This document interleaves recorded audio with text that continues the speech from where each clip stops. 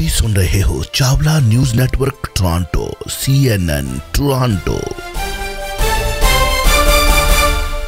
Mintu ji ਦਾ welcome ਕਰਾਂਗੇ ਮਿੰਟੂ ਜੀ ਤੁਹਾਡਾ ਬਹੁਤ ਬਹੁਤ ਨਿੱਘਾ ਸਵਾਗਤ ਹੈ ਜੀ ਸਤਿ ਸ੍ਰੀ ਅਕਾਲ ਵਾਰਮਸਟ ਵੈਲਕਮ ਹਾਂ ਜੀ ਠੀਕ ਹੈ ਜੀ ਜੀ, ਜੀ। ਤੁਸੀਂ ਲੋਕੋ ਕਿਦਾਂ ਹਾਲ ਹੈ ਬਹੁਤ ਵਧੀਆ ਜੀ ਗਰਮੀ ਦਾ ਕੀ ਹਾਲ ਹੈ ਇੰਡੀਆ 'ਚ ਅਹ ਪੁੱਛੋ ਨਾ ਬਸ ਗੁਰਦਾਸ ਮਾਨ ਦਾ ਗਾਣਾ ਹੀ ਆ ਕਿਹੜਾ ਬਸ ਰਹਿਣ ਦੇ ਛੇੜ ਦਾ ਦਰਦ। ਬਸ ਰਹਿਣੇ ਬਾਕੀ ਚਾਹੀਦਾ ਨਹੀਂ ਇਹ ਤਾਂ ਦਰਦ ਮਿੰਟੂ ਜੀ ਹਰ ਸਾਲ ਹੀ ਆਉਂਦਾ ਹੈ ਕੋਈ ਨਵਾਂ ਦਰਦ ਥੋੜਾ ਹੈ। ਹਾਂਜੀ ਹਾਂਜੀ ਨਹੀਂ ਉਹ ਗੱਲ ਇਹ ਹੈ ਨਾ ਜੀ ਵੈਸੇ ਵੀ ਆਪਣੀ ਜਿੱਦਾਂ ਕਹਿ ਲਓ ਕਿ ਇੰਡੀਆ ਦੀ ਇੱਕ ਖੂਬਸੂਰਤੀ ਹੈ। ਹੂੰ ਹੂੰ। ਜੋ ਇੱਥੇ ਤੇ ਗਾਣੇ ਬਣੇ ਨੇ ਇੱਕ ਬਰਸ ਦੇ ਮੌਸਮ ਚਾਰ ਮੌਸਮ ਤੇ ਪੰਜ ਮੌਸਮ। ਪਿਆਰ। ਤੇ ਗੱਲ ਇਹ ਹੈ ਕਿ ਇੱਥੇ ਤੇ ਜਿਹੜੇ ਮੌਸਮ ਹੈ ਚਾਰ ਮੌਸਮ ਦੇਖਣ ਨੂੰ ਮਿਲਦੇ ਆ। ਤੇ ਬਿਲਕੁਲ ਸਾਡੀ ਬਾਡੀ ਨੂੰ ਵੀ ਇੱਕ ਤਰ੍ਹਾਂ ਨਾਲ ਕਹਿ ਲਓ ਕਿ ਇਮਤਿਹਾਨ ਚੁੱਕ ਕਰਨਾ ਪੈਂਦਾ। ਹੈ। ਇਮਤਿਹਾਨ ਆ ਰਿਹਾ ਵਾ 40 ਟੈਂਪਰੇਚਰ ਆਲਮੋਸਟ ਸਾਡਾ ਹੋ ਗਿਆ। ਆਉਣ ਵਾਲੇ ਦਿਨਾਂ 'ਚ 45 44 ਇੱਥੇ ਤੱਕ ਤੇ ਜਾਏਗਾ। ਪੀਕ ਤੇ ਆਣੀ ਆ ਗਰਮੀ। ਇਹਦੇ ਵਾਸਤੇ। ਪੰਜਾਬ ਵੀ ਤਿਆਰ ਹੈ ਤੇ ਪੰਜਾਬੀ ਵੀ ਤਿਆਰ ਜੀ ਜੀ ਬਿਲਕੁਲ ਜੀ। ਔਰ ਵੈਸੇ ਮੈਂ ਤਾਂ ਕਹਾਂਗੀ ਕਿ ਇਹ ਸਾਈਕਲ ਹੈ ਜੀ ਅਗਰ ਮੌਸਮ ਦੀ ਤਬਦੀਲੀ ਦੀ ਸਾਈਕਲ ਨਾ ਹੋਵੇ ਤਾਂ ਦੁਨੀਆ ਕਾਇਮ ਹੀ ਨਹੀਂ ਰਹੇਗੀ। ਸੋ ਇਟਸ ਵੈਰੀ ਨੈਸੈਸਰੀ ਔਰ ਹਰ ਚੀਜ਼ ਸਾਈਕਲ ਦੇ ਵਿੱਚ ਚੱਲ ਰਹੀ ਹਿਊਮਨ ਬਾਡੀ ਦੀ ਸਾਈਕਲ ਹੈ ਐਵਰੀਥਿੰਗ ਸੋ ਉਹ ਚੇਂਜ ਤਾਂ ਸਾਨੂੰ ਫੇਸ ਕਰਨੀ ਪੈਗੀ ਗਰਮੀ ਸਰਦੀ ਰੁੱਤਾਂ ਦੀ ਬਹਾਰ। ਐਕਸਪੀਰੀਅੰਸ ਕਰਨਾ ਪਏਗਾ ਸੋ ਇਟਸ ਗੁੱਡ ਮਿੰਟੂ ਜੀ ਗੱਲ ਕਰਦੇ ਆ ਵਿਧਾਨ ਸਭਾ ਦੀ ਕੀ ਨਿਊਜ਼ ਹੈਗੀ ਵਿਧਾਨ ਸਭਾ ਤੋਂ? ਅੱਜ ਉਹਨਾਂ ਦਾ ਸੁਣਨੇ ਕਿ ਇਜਲਾਸ ਹੋਣਾ ਹੈ। ਖਬਰਾਂ ਦੇ ਵਿੱਚ ਹੀ ਹਾਂਜੀ ਬਿਲਕੁਲ ਅੱਜ ਸਪੈਸ਼ਲ ਇਜਲਾਸ ਹੈ। ਤੇ ਇਜਲਾਸ ਦੇਖੋ ਗੱਲ ਕੀ ਹੈ ਕਿ ਤੁਹਾਨੂੰ ਪਤਾ ਹੀ ਹੈ ਇਸ ਵੇਲੇ ਇੱਕ ਤਰ੍ਹਾਂ ਨਾਲ ਕਹਿ ਲਓ ਕਿ ਕੇਂਦਰ ਬਨਾਮ ਪੰਜਾਬ ਦਾ। ਇੱਕ ਕਨਫਲਿਕਟ ਹੀ ਨਜ਼ਰ ਆ ਰਿਹਾ ਹੈ। ਕਨਫਲਿਕਟ ਵੀ ਮੈਂ ਮੈਂ ਤੇ ਇਹਦੇ ਵਾਸਤੇ ਸ਼ਬਦ ਇਸ ਤਰ੍ਹਾਂ ਦਾ ਇਸਤੇਮਾਲ ਕਰਨਾ ਵਾ ਕਿ ਮਾਫ਼ ਕਰਿਓ ਕਿ ਪੰਜਾਬ ਨੂੰ ਜਿੱਦਾਂ ਆਈਸੋਲੇਟ ਹੀ ਕਰ ਦਿੱਤਾ ਗਿਆ ਜਾਂ ਕਰਨ ਦਾ ਯਤਨ ਕੀਤਾ ਜਾ ਰਿਹਾ। ਬੜੇ ਸ਼ਬਦ, ਇਹ ਮਤਲਬ ਕਿ ਭਾਰੀ ਸ਼ਬਦ ਨੇ ਮੇਰੇ। ਇਹ ਜਿਸ ਤਰੀਕੇ ਨਾਲ ਸਾਨੂੰ ਕੋਆਪਰੇਟ ਕਰਨ ਦੀ ਥਾਂ ਤੇ, ਇਸ ਤਰੀਕੇ ਨਾਲ ਸਾਨੂੰ ਬਲੈਕਮੇਲ ਕੀਤਾ ਜਾ ਰਿਹਾ ਵਾ ਇਸ ਤਰੀਕੇ ਨਾਲ ਸਾਨੂੰ ਅਹਿਸਾਸ ਕਰਵਾਇਆ ਜਾ ਰਿਹਾ ਕਿ ਤੁਸੀਂ ਭਾਜਪਾ ਨੂੰ ਨਹੀਂ ਇੱਥੇ ਫਤਵਾ ਦਿੱਤਾ ਜਾਂ ਕਿਸਾਨ ਅੰਦੋਲਨ ਦੇ ਦਰਮਿਆਨ ਜਿਸ ਤਰੀਕੇ ਦੀ ਇੱਕ ਮੋਹਰੀ ਭੂਮਿਕਾ ਪੰਜਾਬ ਨੇ ਨਿਭਾਈ ਹੈ। ਤੇ ਭੁਗਤੋ ਖਮਿਆਜ਼ਾ ਹੂੰ ਹੂੰ। ਜਦ ਕਿ ਸਾਡੀ ਸਰਕਾਰ ਦੇਖੋ ਹੋਣਾ ਕੀ ਚਾਹੀਦਾ। ਇੰਡੀਆ ਦਾ ਜਿਹੜਾ ਸੰਵਿਧਾਨ ਹੈ ਨਾ ਜੀ ਜੀ ਜੀ। ਉਹਦੇ ਉਹਦੇ ਜੇ ਤੁਸੀਂ ਮਤਲਬ ਕਿ ਜਿਹਦੇ ਨਾਲੋਂ ਖੜਾ ਪੈਰ ਕੀ ਹੈ ਜੀ। ਪੈਰ ਕਿਹੜੇ ਆ? ਉਹ ਉਹ ਯੂਨੀਅਨ ਆਫ ਸਟੇਟਸ ਉਹਦੀ ਉਹਦੀ ਵਿਆਖਿਆ ਤੇ ਖਲੋਤਾ ਉਹਦੀ ਪਰਿਭਾਸ਼ਾ ਤੇ ਮਤਲਬ ਯੂਨੀਅਨ ਹੈ ਸਟੇਟਾਂ ਦੀ ਇੱਕ ਯੂਨੀਅਨ ਹੈ ਜੀ। ਤਾਂ ਉਹਨੂੰ ਚਲਾਉਣ ਵਾਲਾ ਜਿਹੜਾ ਇੱਕ ਕੇਂਦਰੀ ਧੁਰਾ ਹੈ ਹੂੰ ਹੂੰ। ਉਹ- ਉਹਨੂੰ ਇਹ ਚਾਹੀਦਾ ਕਿ ਜਦੋਂ ਵੀ ਕੋਈ ਨਵੀਂ ਸਰਕਾਰ ਆਉਂਦੀ ਹੈ ਕਿਸੇ ਰਾਜ ਦੇ ਵਿੱਚ ਸਟੇਟ ਦੇ ਵਿੱਚ ਚਾਹੇ ਡਜ਼ਨਟ ਮੈਟਰ ਚਾਹੇ ਨਾਰਥ ਈਸਟ ਚਾਹੇ ਨਾਰਥ ਦਾ ਚਾਹੇ ਸਾਊਥ ਦਾ ਬਈ ਉਹਦੇ ਚ ਸਹਿਯੋਗ ਕੀਤਾ ਜਾਵੇ। ਜੀ। ਹਾਂ ਬਈ ਤੁਸੀਂ ਕਿਹੜੀਆਂ ਚੀਜ਼ਾਂ ਠੀਕ ਕਰਨੀਆਂ ਚਾਹੁੰਦੇ ਹੋ? ਕਿਹੜੇ ਰਿਫਾਰਮਸ ਕਰਨੇ ਚਾਹੁੰਦੇ ਹੋ? ਕਿ ਕੁਝ ਨਵਾਂ ਕਰਨਾ ਚਾਹੁੰਦੇ ਹੋ। ਅਸੀਂ ਉਹ ਕਰਨ ਨੂੰ ਤਿਆਰ ਹਾਂ। ਇਹ ਨਹੀਂ ਹੈ ਕਿ ਤੁਹਾਨੂੰ ਅਸੀਂ ਖਾਣ ਨੂੰ ਸ਼ਕਲ ਛਕਾਉਣ ਨੂੰ ਦੇਵਾਂਗੇ। ਕੰਮ ਕਰੋ ਅਸੀਂ ਤੁਹਾਡੇ ਨਾਲ ਆ ਤੇ ਮੇਰੇ ਖਿਆਲ ਨਾਲ ਇੱਕ ਬਹੁਤ ਵਧੀਆ ਸਾਡੀ ਭਾਵਨਾ ਜਾਏਗੀ ਬਹੁਤ ਵਧੀਆ। ਕਿਉਂਕਿ ਦੇਖੋ ਇਸ ਤਰ੍ਹਾਂ ਫਿਰ ਸਟੇਟਾਂ ਸੀ ਹੁੰਦੀਆਂ ਕਿ ਸਟੇਟਾਂ ਦੇ ਲੋਕਾਂ 'ਚ ਇੱਕ ਭਾਵਨਾ ਪੈਦਾ ਹੋਣੀ ਸ਼ੁਰੂ ਹੋ ਜਾਂਦੀ। ਹੂੰ ਹੂੰ ਵਿਤਕਰਾ ਹੋ ਰਿਹਾ ਸਾਡੇ ਨਾਲ ਧੱਕਾ ਹੋ ਰਿਹਾ। ਤੁਹਾਨੂੰ ਪਤਾ ਹੈ ਨਾ ਕਿ ਸਾਡਾ ਪੰਜਾਬ ਦਾ ਇਤਿਹਾਸ ਹੈ ਜਿਹੜਾ। ਇਹਨੇ ਕਿਸ ਤਰ੍ਹਾਂ ਇੱਕ ਗੇੜ ਖਾਦਾ ਸੀਗਾ। ਸੱਤਰ ਦੇ ਦਹਾਕੇ ਪਰ ਅਸੀਂ ਖਮਿਆਜ਼ਾ ਭੁਗਤਿਆ ਉਹਦਾ। ਖਮਿਆਜ਼ਾ ਭੁਗਤਿਆ ਉਸ ਦੌਰ ਦਾ। ਸਾਰਿਆਂ ਨੇ ਭੁਗਤਿਆ ਚਾਹੇ ਕੋਈ ਵੀ ਹੈ ਪੰਜਾਬੀ ਕੋਈ ਵੀ ਹੈ ਕਿਸੇ ਵੀ ਕੌਮ ਦਾ ਹੈ ਕਿਸੇ ਵੀ ਮਜ਼ਹਬ ਦਾ ਹੈ ਸਾਰਿਆਂ ਨੇ ਭੁਗਤਿਆ ਚਾਹੇ ਆਰਥਿਕ ਤੌਰ ਤੇ ਚਾਹੇ ਸਰੀਰਕ ਤੌਰ ਤੇ ਚਾਹੇ ਸਮਾਜਿਕ ਤੌਰ ਤੇ। ਕਹਿਣ ਦਾ ਮਤਲਬ ਇਹ ਹੋਆ ਕਿ ਇਹ ਜਿਹੜਾ ਸਾਰਾ ਕੁਝ ਚੱਲ ਰਿਹਾ ਹੁਣ ਮਾਨ ਸਰਕਾਰ ਤੇ ਦਬਾਅ ਬਹੁਤ ਹੈ। ਹੂੰ ਹੂੰ। ਕਿਉਂਕਿ ਪੰਜਾਬੀ ਕਹਿ ਰਹੇ ਹੁਣ ਆਮ ਬੰਦੇ ਨੂੰ ਸਮਝ ਆ ਰਹੀ ਹੈ ਨਾ ਦੇਖੋ ਤੁਸੀਂ ਇੱਕ ਵੇਖੋ ਧੱਕੇ ਦੀ ਮਿਸਾਲ ਕੀ ਹੈ ਜੀ। ਪੱਖਪਾਤ ਦੀ ਮਿਸਾਲ ਕੀ ਹੈ ਕਿ ਹਰਿਆਣਾ ਅਨ ਐਲੋਕੇਟਡ ਪੂਲ ਚੋਂ ਬਿਜਲੀ ਮੰਗ ਹੀ ਨਹੀਂ ਰਿਹਾ। ਹੂੰ ਹੂੰ। ਤੁਹਾਡੇ ਤੋਂ ਕੋਈ ਡਿਮਾਂਡ ਹੀ ਨਹੀਂ ਕਰ ਰਿਹਾ। ਤੇ ਪੰਜਾਬ ਵਿਚਾਰਾ ਇਹ 26 ਮਾਰਚ ਨੂੰ ਤੁਹਾਨੂੰ ਲਿਖ ਕੇ ਦੇ ਰਿਹਾ ਕਿ ਐਮਰਜੈਂਸੀ ਹਾਲਤ ਹੈ ਸਾਡਾ ਇੱਥੇ ਬੁਰਾ ਹਾਲ ਹੈ। ਤੁਸੀਂ ਸਾਨੂੰ 700 ਮੈਗਾਵਾਟ ਜਿਹੜੀ ਅਕਸਰ ਦੇਣੀ ਹੋਗੀ ਜਿਹੜੀ। ਬਈ ਉਹ ਦੇ ਦਿਓ ਚਾਲੂ ਕਰ ਦਿਓ। ਤਾਂ ਇਹਨਾਂ ਨੇ ਕਿਹਾ ਕਿ ਨਹੀਂ ਨਹੀਂ ਨਹੀਂ ਤੁਹਾਨੂੰ ਕੱਖ ਨਹੀਂ ਦੇਣਾ। ਹਰਿਆਣਾ ਜਿਹਨੇ ਮੰਗਿਆ ਹੀ ਨਹੀਂ। ਹਰਿਆਣੇ ਦਾ ਕੋਈ ਕਸੂਰ ਨਹੀਂ ਕੱਢ ਰਿਹਾ। ਜੀ। ਇਹਨੂੰ ਕਿਉਂ ਮਿਲ ਗਈ ਹਰਿਆਣੇ ਨੇ ਮੰਗ ਹੀ ਨਹੀਂ ਕੀਤੀ ਮਤਲਬ ਕਿ 7 ਲੱਖ ਹੋਣਗੇ ਜਾਂ ਉਹਨਾਂ ਦੀ ਡਿਮਾਂਡ ਨਹੀਂ ਹੈ। ਹੂੰ ਹੂੰ। ਪਰ ਬਾਵਜੂਦ ਵੀ ਇਸੇ ਇੱਕ ਤਰ੍ਹਾਂ ਨਾਲ ਅਹਿਸਾਸ ਕਰਵਾਉਣ ਵਾਸਤੇ ਕਿ ਤੁਸੀਂ ਸਾਡੇ ਲਈ ਕਿੰਨੇ ਕੁ ਮਹੱਤਵਪੂਰਨ ਜੀ। ਉਹਨਾਂ ਨੂੰ ਉਹ ਬਿਜਲੀ ਐਲੋਕੇਟ ਕਰ ਦਿੱਤੀ। ਹੁਣ ਕੀ ਕਹੋਗੇ ਤੁਸੀਂ? ਕੀ ਕਹੋਗੇ? ਇੱਕ ਤਾਂ ਬੰਦਾ ਹੈ ਜਿਹੜਾ ਬਿਮਾਰ ਹੈ। ਹੂੰ ਹੂੰ। ਉਹਨੂੰ ਦਵਾ ਦੀ ਰੋਗ ਰੋਗ ਦੇ ਵਿੱਚ ਉਹਨੂੰ ਜ਼ਰੂਰਤ ਹੈ ਜੀ।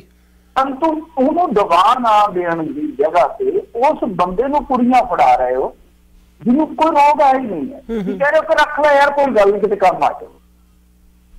ਦੋਵੇਂ ਭਰਾ ਨੇ ਆਪਸ ਦੇ ਵਿੱਚ। ਇੱਕ ਨੂੰ ਕਹਿ ਰਹੇ ਕਿ ਰੱਖ ਲੈ ਯਾਰ ਗਾਂ ਤੇਰੇ ਕੰਮ ਆ ਜਾਊ। ਹੂੰ ਹੂੰ।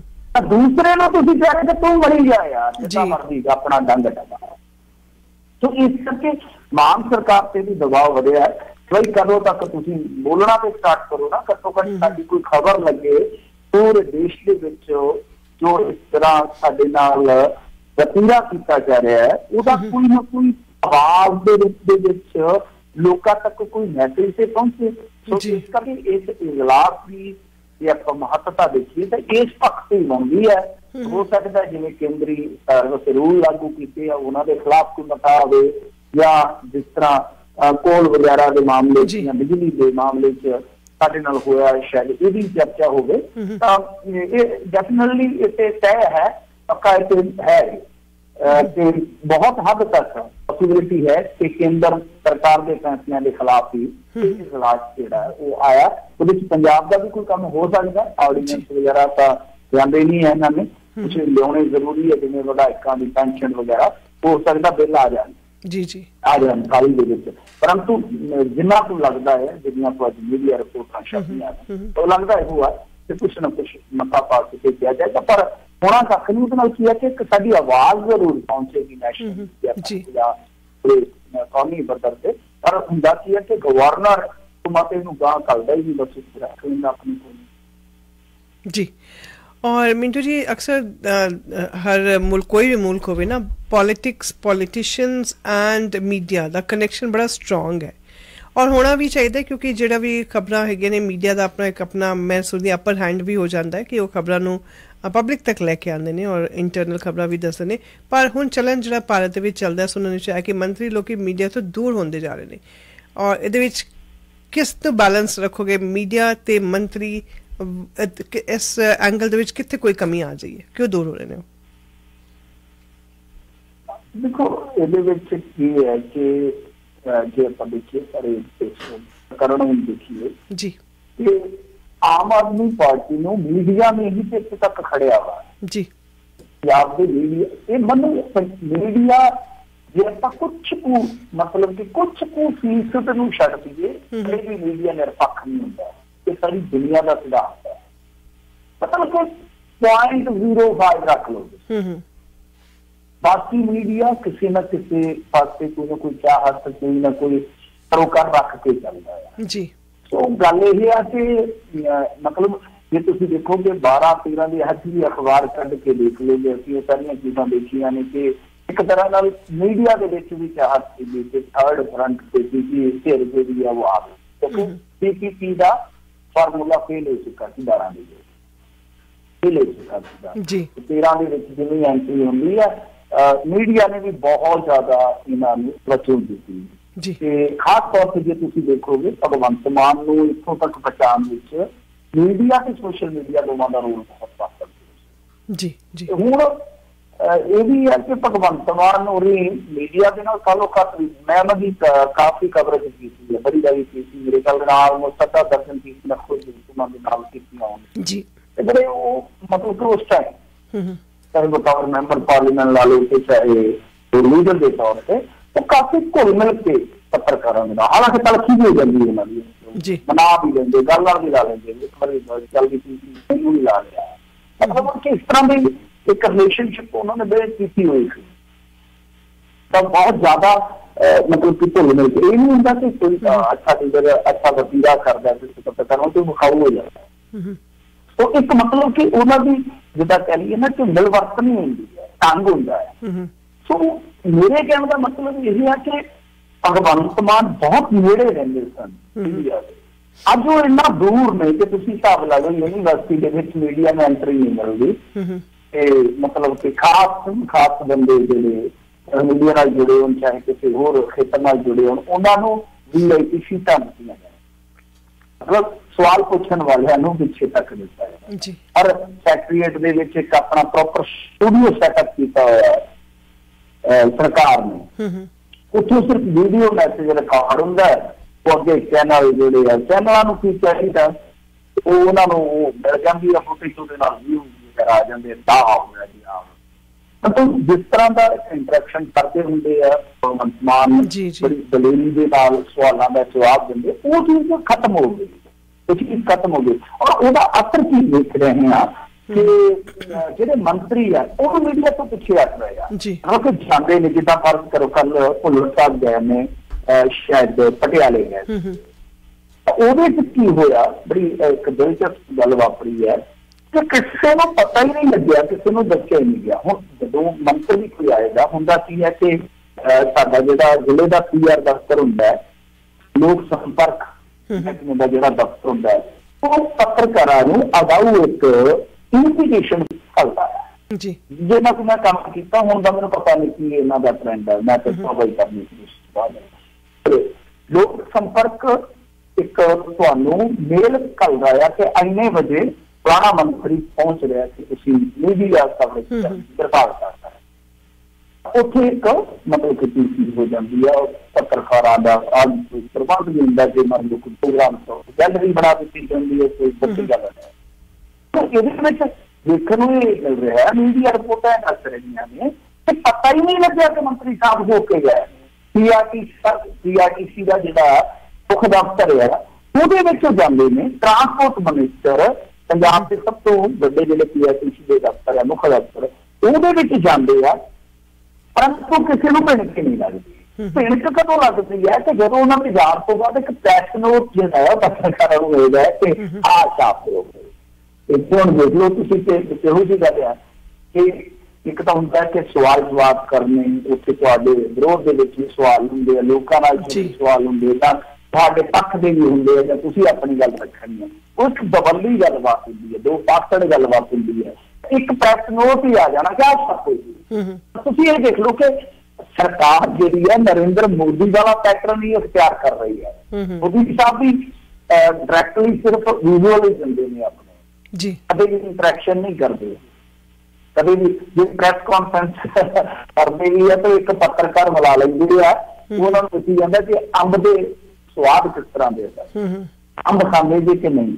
ਤੁਸੀਂ ਸੌਂਦੇ ਕਿਹੜੇ ਵੇਲੇ? ਮਤਲਬ ਕਿ ਘਟੀਆ ਪੱਤਰਕਾਰ ਤਾਂ ਉਹਦੇ ਅਕਸ਼ੇ ਕੁਮਾਰ ਵੀ ਸ਼ਾਮਲ ਸੀ ਦੇਖੋ ਅਕਸ਼ੇ ਕੁਮਾਰ ਦਾ ਤੇ ਮੋਦੀ ਦੇ ਕੋਈ ਇੰਟਰਵਿਊ ਦਾ ਤੁੱਕ ਬਣਦਾ ਸੀ ਸਹੀ ਗੱਲ ਹੈ। ਬਿਲਕੁਲ ਪੈਟਰਨ ਹੈ ਅੱਜ ਤੇ। ਇਹਦੇ ਚ ਮੈਨੂੰ ਇਹ ਲੱਗਦਾ ਹੈ ਜੀ ਕਿ ਮੈਂ ਬਸ ਸਿਰਫ ਇੱਕ ਸੈਕਿੰਡ ਲਵਾਂਗਾ। ਜੀ। ਸੈਕਿੰਡ ਤੇ ਹੋ ਗਿਆ। ਬਸ ਥੋੜੇ ਜਿਹੇ ਸੈਕਿੰਡ ਲਵਾਂਗਾ। ਬਿਲਕੁਲ ਜੀ, ਹਾਂਜੀ ਜੀ। ਦੇਖੋ ਇਹ ਲੱਗਦਾ ਹੈ ਹੋਇਆ ਕਿ ਪੰਜਾਬ ਸਰਕਾਰ ਦੇ ਵਿੱਚ ਜਿਵੇਂ ਅਮਰਿੰਦਰ ਸਿੰਘ ਚੱਲਿਆ ਕਿ ਅਮਰਿੰਦਰ ਸਿੰਘ ਤਾਂ ਚਲੋ ਹੈ ਹੀ ਉਸ ਤਰ੍ਹਾਂ ਦਾ ਸੀਗਾ। ਕਿ ਜਿਹਨੂੰ ਪਰਵਾਹ ਹੀ ਨਹੀਂ ਸੀ ਪਰਵਾਹ ਤੇ ਸਿਰਫ ਆਪਣੀ ਸੀ ਜਾਂ ਰੂਸਾਲ ਹੁੰਦੀ ਸੀ ਗੱਲ ਇਹ ਆ ਕਿ ਹੁਣ ਜੇ ਤੁਸੀਂ ਦੇਖੋਗੇ ਇਉਂ ਲੱਗਦਾ ਹੈ ਕਿ ਜਿਹੜਾ ਪੈਟਰਨ ਸੈੱਟ ਕੀਤਾ ਜਾ ਰਿਹਾ ਵਾ। ਇਹ ਇਹਨਾਂ ਦਾ ਆਪਣਾ ਨਹੀਂ ਇਹਨਾਂ ਨੂੰ ਜਿੱਦਾਂ ਕਹਿ ਲਈਏ ਕਿ ਬਣਾ ਕੇ ਦਿੱਤਾ ਗਿਆ ਕਿ ਭਾਈ ਤੁਸੀਂ ਦੂਰੀ ਰੱਖਣੀ ਹੈ ਤਾਂ ਕਿ ਕੋਈ ਕੰਟਰੋਵਰਸੀ ਨਾ ਹੋਵੇ ਕੋਈ ਬਿਆਨ ਕੋਈ ਐਸਾ ਨਾ ਹੋਵੇ ਜਿਹੜਾ ਪਾਰਟੀ ਨੂੰ ਜਵਾਬ ਦੇਣਾ ਔਖਾ ਹੋ ਜਾਵੇ ਜਾਂ ਲੋਕ ਸਰੋਕਾਰਾਂ ਨਾਲ ਜੁੜੇ ਜਾਂ ਜਿਹੜੇ ਵਾਅਦੇ ਕੀਤੇ ਉਹਨਾਂ ਦੇ ਨਾਲ ਜੁੜੇ ਸਵਾਲ ਜਿਹੜੇ ਕੱਟ ਜਾਣ ਪਬਲਿਕ ਦੇ ਵਿੱਚ ਇਸ ਕਰਕੇ ਇਹਨੂੰ ਆਪਾਂ ਰਣਨੀਤਿਕ ਇੱਕ ਪਹੁੰਚ ਕਹਿ ਸਕਦੇ ਹਾਂ ਕਿ ਰਣਨੀਤੀ ਲੱਗਦੀ ਹੈ ਐਸਾ ਨਹੀਂ ਹੈ ਕਿ ਮੰਤਰੀ ਸਾਹਿਬ ਜਾਂ ਮੁੱਖ ਮੰਤਰੀ ਸਾਹਿਬ ਜਿਹੜੇ ਆ, ਉਹ ਕੋਈ ਮਤਲਬ ਕਿ ਪੱਤਰਕਾਰਾਂ ਦੇ ਨਾਲ ਨਾਰਾਜ਼ ਨੇ ਜਾਂ ਪ੍ਰੈਸ ਦੇ ਨਾਲ ਨਾਰਾਜ਼ ਨੇ ਜਾਂ ਉਹ ਡਰਦੇ ਹੋਣਗੇ। ਐਸਾ ਨਹੀਂ ਮੈਨੂੰ ਨਹੀਂ ਕਮ ਸੇ ਕਮ ਲੱਗਦਾ ਕਿ ਉਹ ਡਰਦੇ ਹੋਣਗੇ। ਮੁੱਖ ਮੰਤਰੀ ਬਾਰੇ ਤਾਂ ਮੈਂ 100% ਰਾਏ ਬਣਾ ਕੇ ਕਹਿ ਸਕਦਾ ਕਿ ਪੱਤਰਕਾਰਾਂ ਦੇ ਸਵਾਲਾਂ ਤੋਂ ਨਹੀਂ ਡਰਦੇ। ਜੀ। ਪਰ ਹੁੰਦਾ ਕੀ ਹੈ ਕਿ ਕਈ ਵਾਰ ਤੁਹਾਨੂੰ ਫੈਸਲਾ ਮੰਨਣਾ। ਜੀ। ਮੈਂ ਜਿਹੜੇ ਕਾਲਰਸ ਹੈਗੇ ਨੇ ਕਾਲ ਕਰ ਰਹੇ ਨੇ ਲਾਂਗੇ ਕਾਲਸ ਉਹਨਾਂ ਦੇ ਵਿਚਾਰ ਦੇਖਦੇ ਹਾਂ ਹਾਂਜੀ ਕਾਲਰ ਸਤਿ ਸ਼੍ਰੀ ਅਕਾਲ ਜੀ ਤੁਸੀਂ ਏਅਰ ਤੇ ਹੋ ਜੀ? ਹਾਂਜੀ ਸਤਿ ਸ਼੍ਰੀ ਅਕਾਲ ਅੰਜੂ ਜੀ ਸਤਿ ਸ਼੍ਰੀ ਅਕਾਲ ਮਿੰਟੂ ਜੀ ਸਤਿ ਸ਼੍ਰੀ ਅਕਾਲ। ਮਿੰਟੂ ਜੀ ਸਤਿ ਸ਼੍ਰੀ ਅਕਾਲ। ਅੱਛਾ ਮਿੰਟੂ ਜੀ ਸਭ ਤੋਂ ਦੋ ਤਿੰਨ ਚੀਜ਼ਾਂ ਨੇ, ਜਿਹਦੇ ਵਿੱਚ ਪੰਜਾਬ ਨੂੰ ਹਮੇਸ਼ਾ ਸ਼ੁਰੂ ਤੋਂ ਲੈ ਕੇ ਅੱਜ ਤੱਕ ਘਾਟਾ ਰਿਹਾ ਹੈ ਔਰ ਘਾਟਾ ਰਹਿਣਾ ਹੈ। ਇੱਕ ਸਟੇਟ ਆਪਣਾ ਬਾਰਡਰ ਸਟੇਟ ਹੈ। ਨੰਬਰ 2 ਦੇ ਉੱਤੇ ਪੋਪੂਲੇਸ਼ਨ ਹੈ ਨਹੀਂ ਔਰ ਤੁਹਾਡੀ ਮੈਂਬਰ ਆਫ ਪਾਰਲੀਮੈਂਟ ਹੈ ਨਹੀਂ। ਅ- 13 ਪ- ਮੈਂਬਰ ਪਾਰਲੀਮੈਂਟ ਨੇ। ਪਹਿਲੇ ਜਿਹੜੇ ਆਪਣਾ ਕਿੰਨੇ ਸਟੇਟਾਂ ਮਿਲਾ ਲਈਏ ਤੇ ਉਹਦੇ ਵੀ ਆਪਣਾ 30 35 ਹੁੰਦੇ ਫੇਰ ਵੀ ਪੁੱਛੀ ਜਾਂਦੀ ਸੀ। ਹੁਣ 13 ਮੈਂਬਰ ਨੇ ਔਰ 13 ਵਿੱਚ ਚਾਰ ਬੋਲਣ ਵਾਲੇ ਨਹੀਂ ਕੋਈ। ਕਿਉਂਕਿ ਜਦ ਤੱਕ ਸੈਂਟਰ ਦੇ ਵਿੱਚ ਪਹੁੰਚ ਨਹੀਂ ਹੋਏਗੀ ਤੁਹਾਡੀ, ਸੈਂਟਰ ਦੇ ਤੋਂ ਕੁਝ ਨਹੀਂ ਲੈ ਸਕਦੇ, ਤਦ ਤੱਕ ਤੁਹਾਡੀ ਸਟੇਟ ਦਾ ਕੁਝ ਨਹੀਂ ਹੈ। ਜਦ ਤੱਕ ਇਹ ਢਾਂਚਾ ਰੀਬਿਲਡ ਨਹੀਂ ਹੁੰਦਾ, ਉਦੋਂ ਤੱਕ ਪੰਜਾਬ ਦੇ ਨਾਲ ਵਿਤਕਰਾ ਹੁੰਦਾ ਆਇਆ ਹੈ ਤੇ ਹੁੰਦਾ ਰਹੇਗਾ। ਕਿਉਂਕਿ ਜਦ ਤੱਕ ਸੈਂਟਰ ਦੇ ਵਿੱਚ ਇੱਕ ਸਟੇਟ ਤੋਂ 100 ਬੰਦੇ ਨੇ ਇੱਕ ਸਟੇਟ ਤੋਂ 5 ਬੰਦੇ 100 ਵਾਲਿਆਂ ਨੇ ਸੁਣੀ ਹੈ 5 ਵਾਲਿਆਂ ਨੇ ਕਿਸੇ ਨੂੰ ਨਹੀਂ ਪੁੱਛਣਾ। ਉਹ ਇਹ ਸੈਂਟਰ ਦੇ ਵਿੱਚ ਬਰਾਬਰ ਦੀ ਹੱਕ ਚਾਹੀਦੇ ਨੇ। ਇਹਨਾਂ ਨੂੰ ਜਿਹੜੇ ਸੈਂਟਰ ਦੇ ਜਾਣ ਵਾਸਤੇ ਨੇ ਸਾਰੀਆਂ ਸਟੇਟਾਂ ਦੇ ਇਕੁਅਲ ਮੈਂਬਰ ਹੋਣੇ ਚਾਹੀਦੇ ਨੇ ਨਾ ਕਿ ਵੱਖਰੇ ਵੱਖਰੇ। ਬਾਕੀ ਅੱਗੇ ਤੁਸੀਂ ਦੱਸ ਸਕਦੇ ਹੋ ਜਾ ਜੀ ਮਿੰਟੂ ਜੀ। ਥੈਂਕ ਯੂ ਜੀ ਸੁਣਾ ਤੁਸੀਂ ਉਹਨਾਂ ਜੀ। ਇਹ- ਗੱਲ ਤੁਹਾਡੀ ਠੀਕ ਹੈ ਸਰ ਕਿ ਇੱਕ ਬਹੁਤ ਵੱਡਾ ਰਾਜ ਬਹੁਤ ਵੱਡੀ ਪੋਲੀਟੀਕਲ ਪਾਵਰ ਰੱਖਦਾ ਹੈ। ਉਹਦਾ ਮਤਲਬ ਕਿ ਜੋ ਸਾਡੀ ਸੰਸਦ ਹੁੰਦੀ ਹੈ, ਜਾਂ ਰਾਜ ਸਭਾ ਹੁੰਦੀ ਹੈ ਵਿੱਚ ਕੰਪੋਜੀਸ਼ਨ ਵਿੱਚ ਬਹੁਤ ਵੱਡਾ ਰੋਲ ਰਹਿੰਦਾ ਹੈ। ਸਹੀ ਹੈ। ਸਹੀ ਹੈ, ਮੈਂ ਤੁਹਾਡੀ ਗੱਲ ਤੋਂ ਸਹਿਮਤ ਹਾਂ। ਪਰ ਮੈਨੂੰ ਇੱਕ ਗੱਲ ਦੱਸੋ, ਜਿਹੜਾ ਜਿਵੇਂ ਹੁਣ ਗੋਆ ਸਭ ਤੋਂ ਛੋਟਾ ਰਾਜ ਹੈ ਸਾਡਾ, ਉਹਦਾ ਖੇਤਰਫਲ ਜਿਹੜਾ ਹੈ, ਉਹ ਮੇਰੇ ਹਿਸਾਬ ਦੇ ਨਾਲ 37 ਤੋਂ 37 ਕੁ ਸੌ ਵਰਗ ਕਿਲੋਮੀਟਰ ਹੈ। ਸਾਰੀ ਕੋਠੇ ਅਸੈਂਬਲੀ ਦੀਆਂ ਸੀਟਾਂ, ਮਤਲਬ ਕਿ ਸਾਡੇ ਨਾਲੋਂ ਵੀ ਉਹ ਤਿੰਨ ਗੁਣਾ ਛੋਟਾ ਹੈ। ਕੀ ਇਹ ਕਿਹਾ ਜਾਵੇ ਕਿ ਗੋਆ ਹੁਣ ਆਪਣੇ ਹਾਲਾਤ ਨਾਲ ਆਪ ਹੀ ਹੋ ਸਕਦਾ ਹੈ? ਫਿਰ ਤੁਹਾਡਾ ਜਿਹੜਾ ਸਿਧਾਂਤ ਹੈ ਇੰਡੀਆ ਨੂੰ ਯੂਨੀਅਨ ਆਫ ਸਟੇਟਸ ਬਣਾ ਕੇ ਚੱਲਣ ਦਾ ਨਾਲ ਮਤਲਬ ਕਿ ਤਾਕਤ ਵੰਡ ਕੇ ਚੱਲਣ ਦਾ ਸਹਿਯੋਗ ਕਰਕੇ ਚੱਲਣ ਦਾ ਇਹਦਾ ਮਤਲਬ ਕਿ ਤੁਸੀਂ ਉਹਦੇ ਨਾਲ ਗੱਦਾਰੀ ਕਰ ਰਹੇ ਹੋ ਇਹਦੇ ਨਾਲ ਧਰੋਹ ਕਰ ਰਹੇ ਹੋ ਚਾਹੇ ਚਾਹੇ ਕੋਈ ਵੀ ਸਟੇਟ ਆ ਚਾਹੇ ਉਹ ਸਾਊਥ ਦੀ ਹੈ ਨਾਰਥ ਈਸਟ ਦੀ ਹੈ ਚਾਹੇ ਨਾਰਥ ਦੀ ਹੈ ਸੋ ਮੇਰਾ ਇਹ ਮੰਨਣਾ ਹੈ ਕਿ ਹਰੇਕ ਸਰਕਾਰ ਚਾਹੇ ਕਿਸੇ ਵੀ ਪਾਰਟੀ ਨਾਲ ਤਾਲੁਕ ਰੱਖਦੀ ਹੋਵੇ ਕਿਸੇ ਵੀ ਰਾਜ ਦੀ ਹੋਵੇ ਕੇਂਦਰ ਦਾ ਕੰਮ ਹੈ ਕਿ ਉਹਨੂੰ ਸਹਿਯੋਗ ਕਰਨਾ ਜੇ ਉਹ ਗਲਤ ਕਰਦੀ ਹੈ ਤਾਂ ਉਹਨੂੰ ਰੋਕਣਾ ਸੋ ਮੇਰਾ ਤੇ ਇਹ ਮੰਨਣਾ ਤੁਹਾਡਾ ਇੰਡੀਆ ਜਿਹੜਾ ਉਹ ਬਹੁਤ ਧਰਮੀ ਹੈ ਬਹੁਤ ਸੱਭਿਆਚਾਰੀ ਹੈ ਬਹੁਤ ਭਾਸ਼ਾਈ ਹੈ ਪੋਲਿਟਿਕ ਤੌਰ ਤੇ ਵੀ ਬਹੁਤ ਰੰਗ ਢੰਗ ਵੱਖਰੇ ਨੇ ਸੋ ਇਸ ਕਰਕੇ ਹਰੇਕ ਖਿੱਤੇ ਵਾਸਤੇ ਤੁਹਾਨੂੰ ਅਲੱਗ ਸੋਚ ਰੱਖ ਕੇ ਅਲੱਗ ਨੀਤੀ ਰੱਖ ਕੇ ਚੱਲਣਾ ਹੀ ਪਊਗਾ ਨਹੀਂ ਤਾਂ ਬਹੁਤ ਕੁਝ ਹੋਏਗਾ ਔਰ ਇਨ ਫਿਊਚਰ ਸੋ ਜਿਹੜੀ ਗੱਲ ਤੁਸੀਂ ਕਹਿ ਰਹੇ ਹੋ ਮੈਂ ਸਹਿਮਤ ਹਾਂ ਕੁਛ ਹੱਦ ਤੱਕ ਪਰ ਦੂਸਰੀ ਗੱਲ ਹੈ ਕਿ ਅੱਜ ਫਿਰ ਤੁਹਾਡੇ ਇਸ ਸਟੇਟਮੈਂਟ ਤੇ ਮੰਨ ਲਿਆ ਜਾਵੇ ਜਿਹੜਾ ਸਾਡਾ ਪੰਜਾਬ ਅਸੀਂ ਮੰਗ ਕੇ ਲਿਆ ਖਾਸ ਤੌਰ ਤੇ ਅਕਾਲੀ ਮੂਵਮੈਂਟ ਤੋਂ ਨਿਕਲਿਆ ਤੇ ਕੀ ਉਸ ਸਮੇਂ ਦੀ ਲੀਡਰਸ਼ਿਪ ਨੇ ਆ ਜਿਹੜੀ ਤੁਹਾਡੀ ਸੋਚ ਆ ਜਾਂ ਜਿਹੜਾ ਇਹ ਤੁਹਾਡਾ ਨੁਕਤਾ ਹੈ ਮਤਲਬ ਕਿ ਉਸ ਵੇਲੇ ਸੋਚਿਆ ਹੀ ਨਹੀਂ ਔਰ ਇੱਕ ਐਡਾ ਵੱਡਾ ਖਿੱਤਾ ਛੱਡ ਕੇ ਉਹ ਇੱਕ ਕੋਨੇ ਵਿੱਚ ਜਾ ਕੇ ਸਿਮਟ ਕੇ ਬਹਿ ਗਏ। ਜੀ ਮਿੰਟੂ ਜੀ ਮੇਰਾ ਦੂਜਾ ਸਵਾਲ ਹੈਗਾ ਕਿ ਸਕੂਲ ਤੇ ਸਰਕਾਰ ਦੀ ਜਿਹੜੀ ਕਿ ਮੁੱਠਭੇੜ ਇਹ ਆਮਨੇ ਸਾਹਮਣੇ ਹੈਗੇ ਨੇ ਹੁਣ ਕਿਹੜਾ ਪਲੜਾ ਭਾਰੀ ਹੈਗਾ ਤੇ ਕੀ ਫੈਸਲਾ ਹੋ ਸਕਦਾ ਕਿਸ ਤਰਫ ਜਾਏਗਾ ਡਾਇਰੈਕਸ਼ਨ ਜੀ ਦੇਖੋ ਇਹ ਇਹਨਾਂ ਨੇ ਐਲਾਨ ਕੀਤਾ ਸੀ ਕਿ ਅਹ, ਸਕੂਲ ਜਿਹੜੇ ਆ ਉਹ ਫੀਸ ਨਹੀਂ ਵਧਾ ਸਕਣਗੇ। ਮਤਲਬ ਕਿ ਇਹਨਾਂ ਨੇ ਐਲਾਨ ਕੀਤਾ ਸੀਗਾ ਇਹਦੇ ਵਿੱਚ ਕੀ ਹੈ ਕਿ ਜਿਹੜੇ ਹੁਣ ਸਕੂਲ ਨੇ ਉਹ ਕਹਿੰਦੇ ਆ ਕਿ ਬਈ ਇਹ ਗਲਤ ਹੈ ਤੇ ਗੈਰ ਕਾਨੂੰਨੀ ਹੈ। ਹੂੰ ਹੂੰ। ਗਲਤ ਹੈ ਤੇ ਗੈਰ ਕਾਨੂੰਨੀ ਆ। ਜਿਹੜੇ ਮਾਪੇ ਆ ਉਹ ਤੇ ਕਹਿੰਦੇ ਆ ਕਿ ਬਿਲਕੁਲ ਠੀਕ ਹੈ ਇਸੇ ਤਰ੍ਹਾਂ ਹੀ ਚੱਲਣਾ ਚਾਹੀਦਾ ਇਸੇ ਤਰ੍ਹਾਂ ਹੀ ਢਿਗਰੀ ਟਾਈਟ ਰੱਖਣੀ ਚਾਹੀਦੀ ਹੈ। ਪਰ ਮਸਲਾ ਕੀ ਹੈ ਕਿ ਦੇਖੋ ਗੱਲ ਦੋਹਾਂ ਪਾਸਿਆਂ ਤੋਂ ਹੋਣੀ ਚਾਹੀਦੀ ਹੈ ਮੈਨੂੰ ਇਹ ਲੱਗਦਾ ਕਿ ਮਸਲਾ ਇਹ ਬਹੁਤ ਵੱਡਾ ਹੈ। ਹੂੰ ਹੂੰ। ਮਸਲਾ ਮੇਰੇ ਨਾਲ ਵੀ ਜੁੜਿਆ ਹੋਇਆ ਹੈ ਮਸਲਾ ਪੰਜਾਬ ਦੇ ਹੋਰ ਮੇਰੇ ਵਰਗੇ ਬਹੁਤ ਸਾਰੇ ਮਾਪਿਆਂ ਦੇ ਨਾਲ ਜੁੜਿਆ ਹੋਇਆ। ਸਾਨੂੰ ਪਤਾ ਅਸੀਂ ਆਪਣੇ ਬੱਚਿਆਂ ਨੂੰ ਇੱਥੇ ਕਿਸ ਤਰ੍ਹਾਂ ਪੜ੍ਹਾਉਣਾ ਹੈ। ਸਾਨੂੰ ਬਹੁਤ ਹੈ। ਮੈਂ ਤੁਹਾਨੂੰ ਇੱਕ ਇੱਕ 90% ਪੰਜਾਬ ਦੀ ਕਹਾਣੀ ਦੱਸ ਦਿੰਦਾ ਕਿ ਅਸੀਂ ਜੋ ਕਮਾਉਂਦੇ ਹਾਂ ਤਿੰਨ ਚਾਰ ਚੀਜ਼ਾਂ ਕੀ ਵੜ ਜਾਂਦੀ ਹੈ।